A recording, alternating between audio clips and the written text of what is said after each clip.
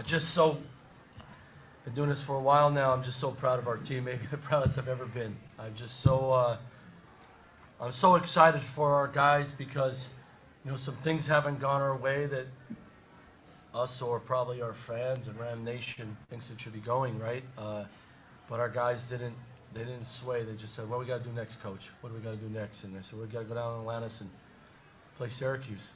And uh, they did a phenomenal job of having two good days of practice, a great shoot around today, and carried over the game plan to the tee.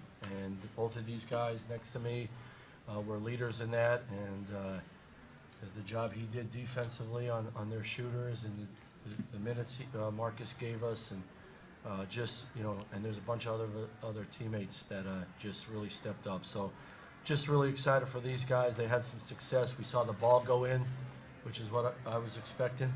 Uh, it took to game five to see it go in, but No, really facts. proud to see these guys. Hope Hopefully, gives them a shot of confidence here as we move forward.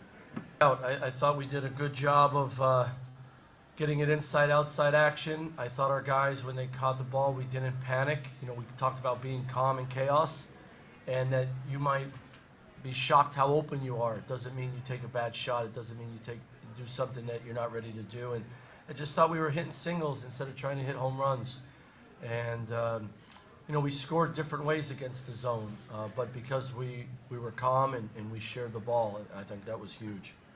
Uh, you know, our, our goal was to get a shot every time down. So if you don't throw it to the other team, he gives you a good opportunity to do that. And uh, we just did a better job in the second half. You know, that was our best offensive half of the of the year.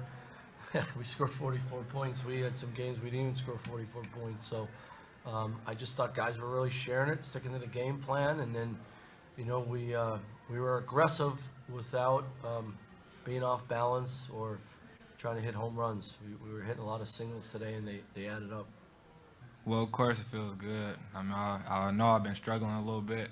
Uh, just been going through some things. So, uh, me just going out there, just playing my game, just trusting my teammates, getting me the shots, and uh, just playing hard, and everything was gonna come. Cause I mean, uh, just coming from playing in Washington, I, I played against that zone. I, I mean, we found the spots. We, you know, we got our, we, we just was playing hard.